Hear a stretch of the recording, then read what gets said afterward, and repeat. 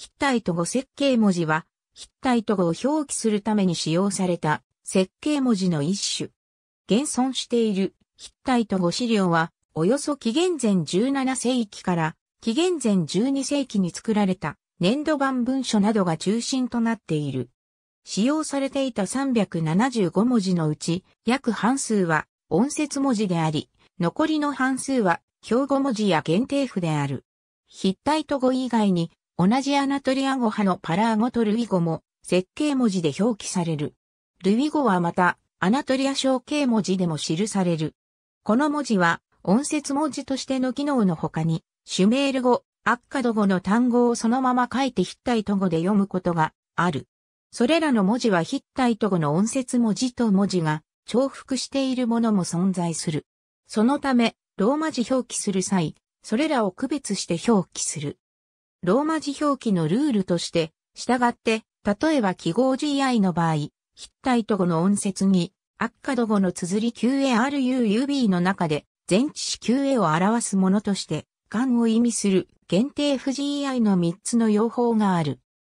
なお、ユニコードでは、シュメール語、アッカド語、エラム語、ヒッタイト語、フルリ語の設計文字について、共通のブロックを用意しているが、その標準自体として、ウル第三王朝のものを使用しており、実際にヒッタイト語で使われているものと大きく異なることがある。例えば、神を意味する限定フディンギルは、新アッシリア時代ではのように書かれ、ヒッタイト語の文字もそちらに近い。インドヨーロッパ語族に属するヒッタイト語は、シュメール語やアッカド語よりも複雑な子音結語を持つが、設計文字は基本的に単純な音節を表記するものであるため、子音結合を表記するのには向いていない。子音結合は母音を補って表現された。例えば、パスカル RAA で、プラ、前にを、LI インイクで、リンク、近えを表記した。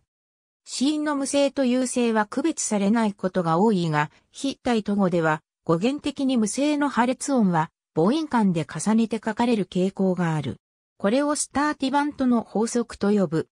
についても、マイナスと引くマイナスの2種類の書き方がなされるため、インドヨーロッパ語族のノドートが2種類区別されていると考えられる。母音の E、I はしばしば区別されず、また、母音の長短の区別も必ずしも一貫していない。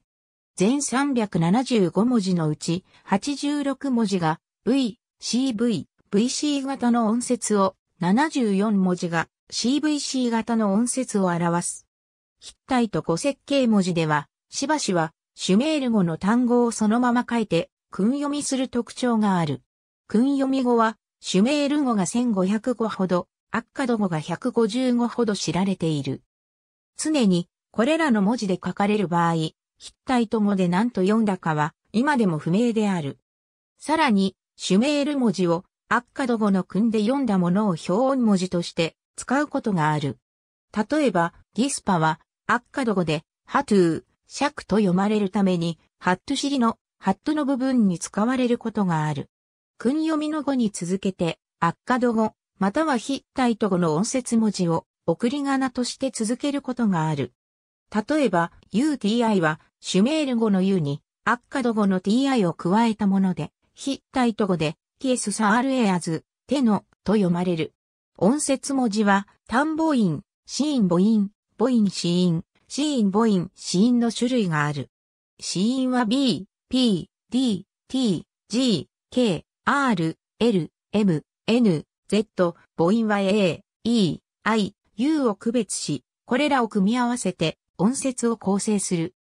後に、や、は、Y の記号も追加された。限定符は発音はされないが意味を明確にするために付けられる。例えばハッツサヨーロアットツサの場合、限定フルは次に続く語が都市を表す語であることを明確に示すために添えられるもので、発音は単にハッツサとなる。ありがとうございます。